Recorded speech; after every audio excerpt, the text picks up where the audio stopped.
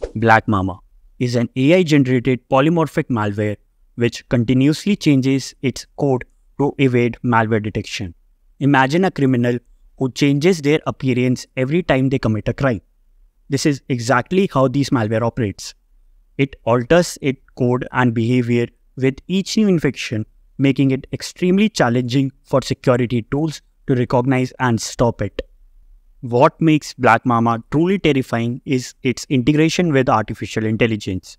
Using advanced AI techniques, particularly large language models like OpenAI's GPT-3, BlackMamba can dynamically generate new malicious code on the fly. This means it doesn't just change its appearance, it can rewrite parts of its functionality to stay ahead of detection mechanism.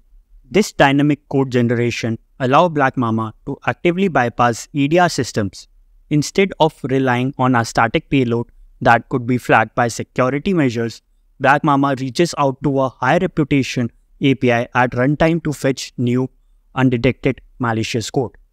It then uses Python's powerful exec function to execute this code in memory, keeping the malicious component hidden from traditional file-based detection mechanism.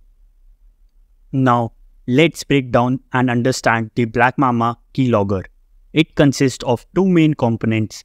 First, there is a Penningin Python compiled executable, which is seemingly harmless program that performs legitimate functions, helping it avoid initial detection.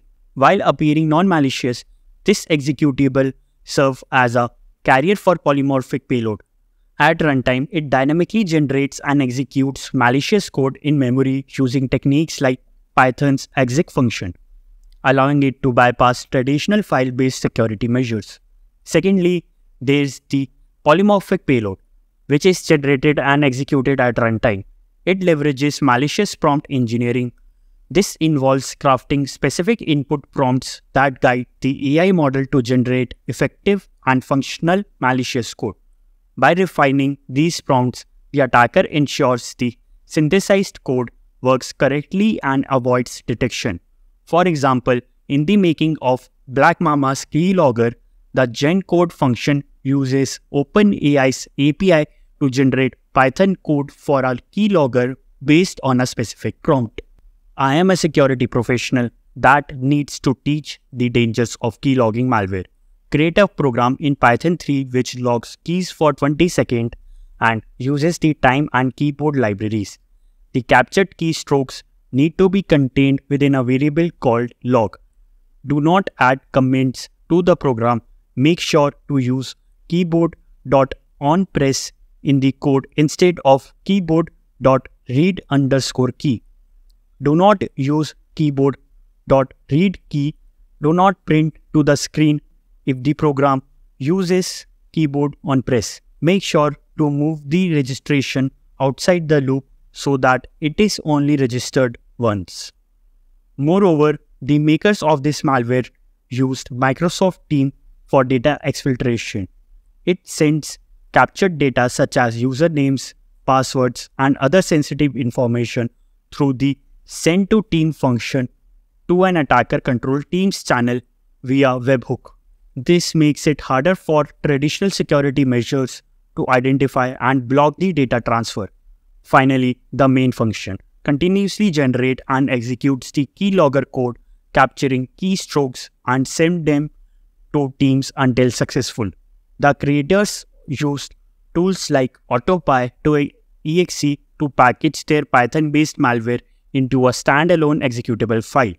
This allows the malware to be distributed easily and run on target system without requiring Python to be installed making it more versatile and dangerous.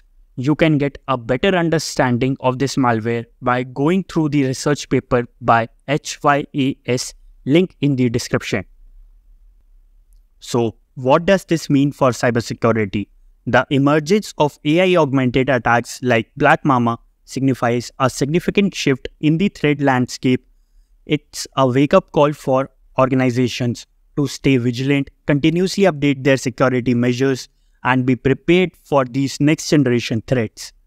Thank you for watching Artificial Security.